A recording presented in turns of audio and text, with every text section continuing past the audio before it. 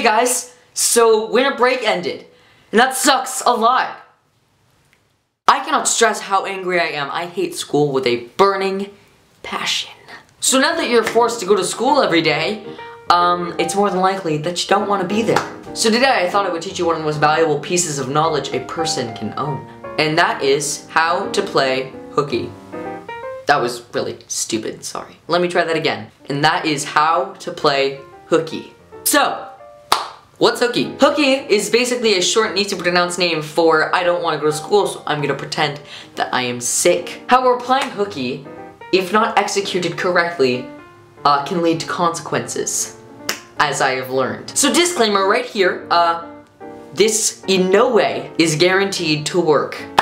So I'm not liable for any issues that arise whilst attempting to, you know, play hooky. So here goes. Step one. I think the first thing someone needs to realize before they can properly do this is this is not a game.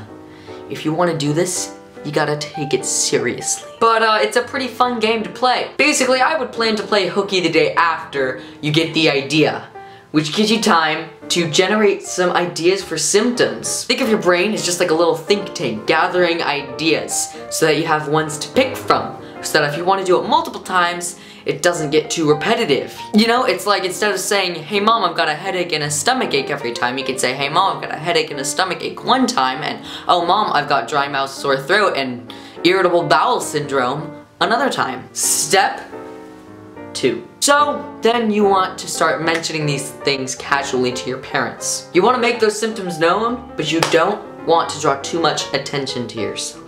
Hey, mom, dad, my stomach like, oh, shit. Personally, I suggest a headache, a sore throat, and an upset, nearly vomit-inducing stomach. Step three: Wake up and notify your parents that you do not feel good and you might be contagious so if you go to school you might start the zombie apocalypse and if we start the zombie apocalypse we might have the walking dead which I guess means we just have a lot of arguing. Step 4. Deuces. Keep pestering them about your symptoms and how you feel so sick because the more you do it the more annoyed they get and the more inclined they are to give you what you want. Your salvation. Good morning, Sam. It's time to get up. Mom, my, my, my head hurts and my, my throat hurts and my stomach hurts. Please just let me stay home from school. No, you can't stay home from school today, honey. Mm, I feel disgusting. I can't, I don't think I'll be able to focus. And I've been feeling nasty since last night, so I don't think it's gonna get better anytime soon. Honey, you're such a fucking idiot. You can't stay home from school today. Please? Oh my god, how did you revert to such a dumbass? You can't stay home from school today, honey. You've got to go.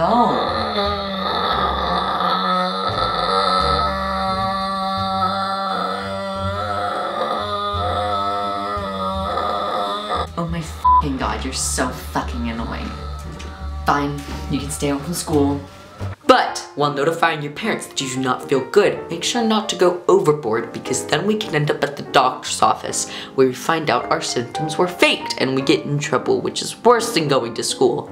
So use your head. Step five. Five.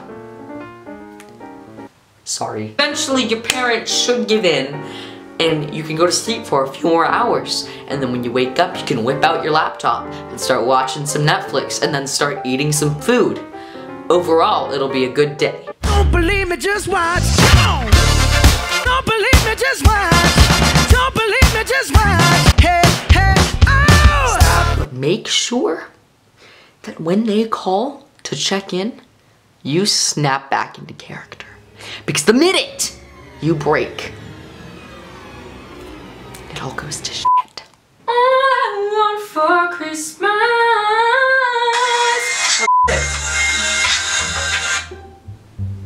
Yeah, I just woke up. No, I feel disgusting. Is there any medicine I can take?